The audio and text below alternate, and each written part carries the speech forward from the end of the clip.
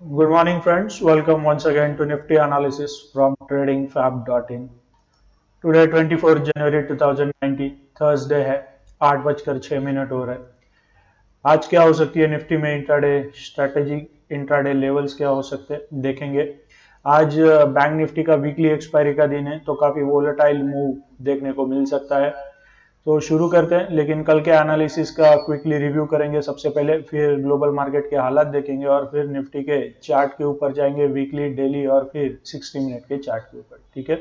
ये एक पिक्चर है कल का यानी ट्वेंटी जनवरी आफ्टर मार्केट आवर्स ये पिक्चर लिया हुआ है। अगर आपने हमारा कल का वीडियो देखा होगा तो अगर नहीं देखा है तो ऊपर आई बटन में उसकी लिंक आपको मिल जाएगी। तो कल के हिसाब से हमारा स्ट्रैटेजी था ब्रेकआउट लेवल बन रहा था 10,930 के पास और ब्रेक डाउन लेवल बन रहा था 10,885 के पास। तो आप जैसे कि देख रहे हैं ये वर्टिकल लाइन के राइट साइड का कैंडल स्टिक का जो डेटा है वो हमें कल का ओपन हाई लो और close as per early chart ये हमें प्रेजेंट कर रहा है।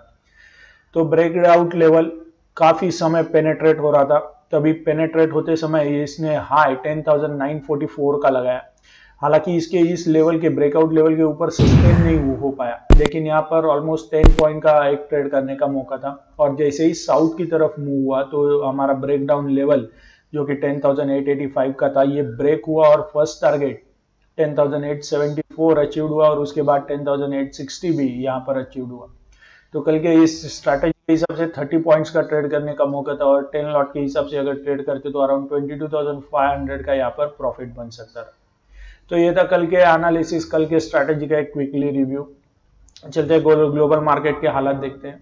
अमेरिकी बाज़ार डाउ जोन्स नाजडैक में कल रिकवरी देखने को मिली. हरे निशान में बंद हुए. यूरोपियन बाज़ार देखे तो वहाँ पर प्रेशर दिखाई दिया. लाल निशान में बंद हुए. आज जब एशियाई मार्केट ओपन हो चुके तो जापानीज मार्केट 136 पॉइंट के गिरावट के साथ ट्रेड कर रहा है. चाइना मार्केट और हांगकांग मार्केट में भी थोड़ा सा प्रेशर दिखाई दे रहा है. डाउ फ्यूचर की बात करें तो अभी फ़िलहाल 44 पॉइंट के गिरावट के साथ ट्रेड कर रहा है और एस जी एक्स निफ्टी भी ऑलमोस्ट 19 पॉइंट के बढ़त के साथ ट्रेड कर रहा है। तो ओवरऑल ग्लोबल मार्केट से तो मिले जुले संकेत आ रहे हैं इस समय। क्या होगा निफ्टी में? आज देखते हैं एनालिसिस करते हैं वीकली चार्ट से शुरू करेंगे। यह है निफ्टी का वीकली चार्ट जैसे कि कई पास्ट वीडियो से बताते आ रहे हैं ten thousand eight eighty two यहाँ पर एक हर्डल का काम कर रहा है, जो कि फिबोनासी रिट्रेसमेंट का लेवल है। इसके ऊपर लास्ट वीक क्लोज हुआ था।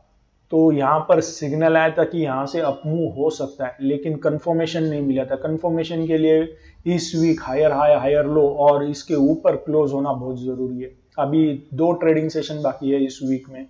लेकिन आप जैसे कि देख रहे हैं ये फिर से एक बार टूवर्ड साउथ की तरफ़ मूव हो रहा है। तो सपोर्ट लेवल्स ये 20 ई का फ़र्स्ट सपोर्ट लेवल है जो कि अराउंड 10,787 के पास है। फिर ये जो ब्लू लाइन है 50 एम का ये 10,675 के पास है ये सेकेंड सपोर्ट है। और ऊपर में हर्डल्स के काम कर रहे हैं 10,882 और उसके बाद 10,985 ये जो लेवल्स है ये ऊपर रेजिस्टेंस का काम कर रहा है ठीक है?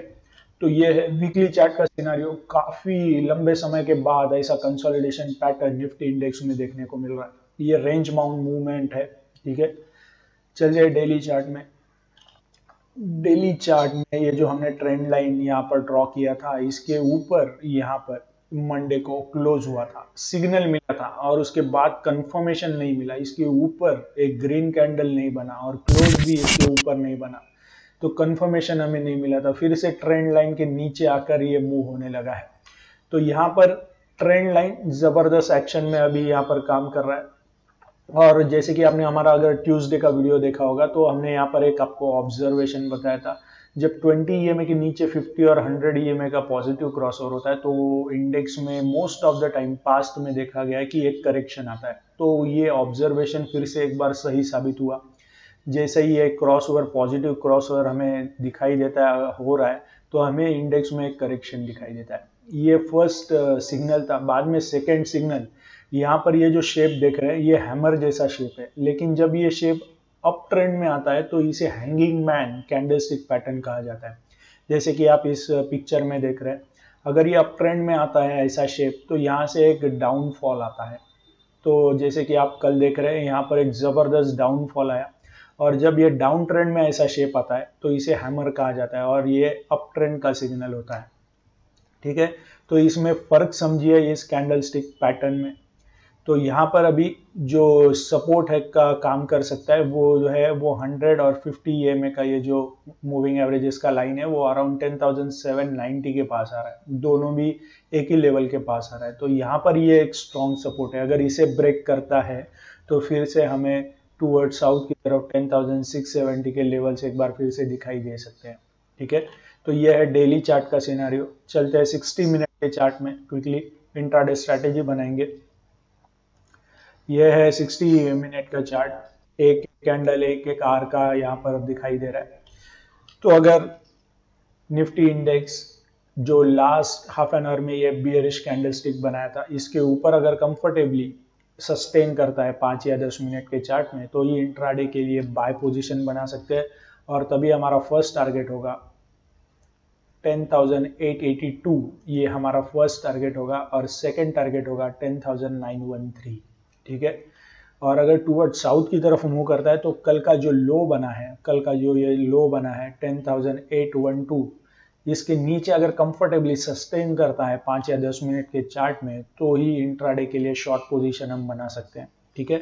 और तभी हमारा ये फ़र्स्ट टारगेट होगा 10,782 ये हमारा फ़र्स्ट टारगेट होगा ठीक है?